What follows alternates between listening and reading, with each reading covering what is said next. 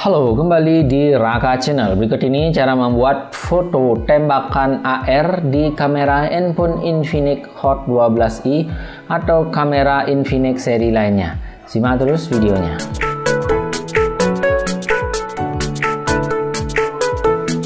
Oke guys, kita langsung saja mulai. Kita akan membuat foto tembakan AR. Maksudnya di sini tembakan AR itu kita akan menambahkan lambang-lambang di wajah kita ya. Jadi akses saja menu kameranya. Lalu di bagian AI cam-nya pencet, lalu pilih di sini tembakan AR.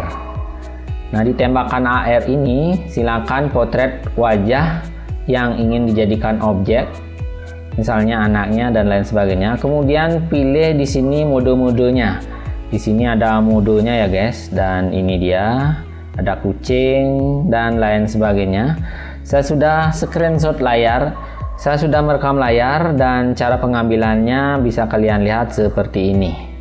Oke pastikan wajahnya fokus kemudian akan tampil lambang untuk menutup mukanya atau menambahkan icon di di depan mukanya seperti icon-icon yang unik kalau sudah pas silakan kalian jepret.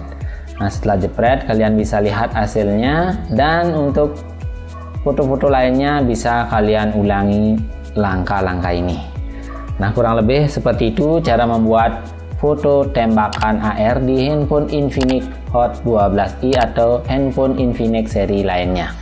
Terima kasih telah menonton, sampai ketemu di video berikutnya.